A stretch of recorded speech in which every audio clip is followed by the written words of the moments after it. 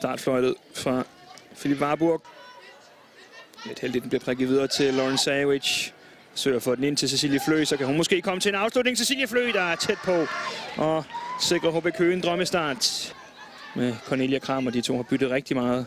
Oh, har store problemer for den debuterende keeper, og så kommer Tytisted i front. En skrækstart for pur unge Alberte Andersen, der kommer ind og øh, laver en kæmpe brøler, og det sikrer altså de nordjyske gæster en rigtig, rigtig god start her på kunstgræsset i Køge. Godt overlap, der kommer fra øh, Agnete Markusen.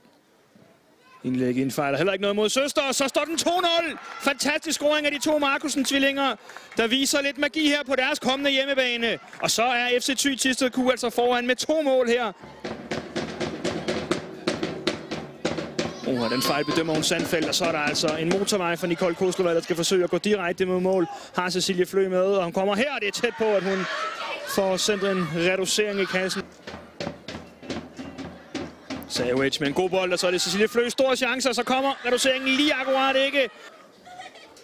Ny hjørnesparks mulighed. Løftet det bagerste område, hvor Nordheim kommer til, og en stor redning af Maja Bay Østergaard. Så ender det faktisk med et selvmål af Signe Damsgaard, men hvordan i alverden får Nordheim lov til at stå så fri i første omgang. Bekøge, der får svaret tilbage her efter 36 minutter. Og hun er fuldstændig umarkeret, den norske midterstopper. Her banker hun bolden tilbage ind i feltet, og Damsgaard, der slet ikke kan nå at reagere og forhindre, at det bliver til et selvmål.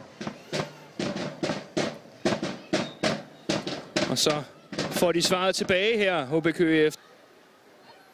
Godt fra øh, Jan Korska, der først får sendt den videre til Silje Flø med en god aflevering. Går forbi sine Damsgaard afslutning og suveræn scoring af Cecilie Flø efter flere misbrugte muligheder i første halvleg, så skulle hun kun bruge 90 sekunder her efter pausen på at smaske bolden i kassen. En fantastisk afslutning.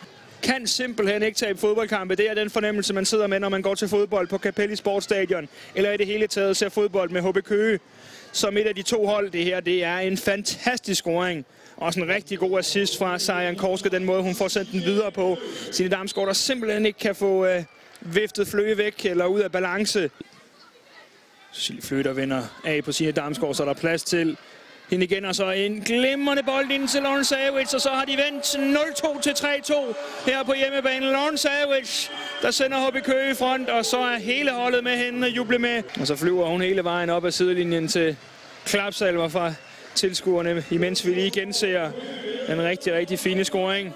En lidt, ja, hvad skal vi sige, tilfældig afslutning måske, men øh, den er altså sat godt op til højre for Maja Bay Østergaard. Endnu en gang arbejder hun så til mulighederne, Cecilie Flø, også selvom det i første omgang ikke lignede, at hun havde en chance for at komme på bolden. Ah, det er fantastisk her, Cecilie Flø. Godt træk ind, og så lægger hun den til rette for Lauren Savage. Tæt på, hun bliver dobbelt målscorer.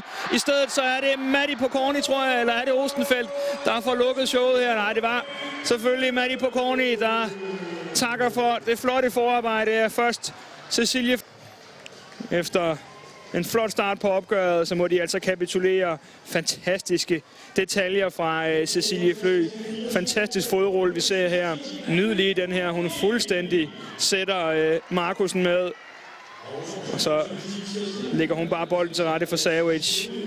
Korsgaard venter på, at pladsen bliver skabt. Så sender hun den altså hele vejen ind i kassen. Sarian Korska med en fornem scoring. Det kan godt være, at det var tænkt som et indlæg, men det ender som en fantastisk scoring. Har spillet en fantastisk kamp og orkestreret rigtig meget af det offensive spil, Sarian Korska. Det kroner hun altså nu også med en rigtig, rigtig fin kasse. Hvis det er et forsøg på at gå mod mål, så er det decideret genialt, det hun foretager sig, Sarian Korska.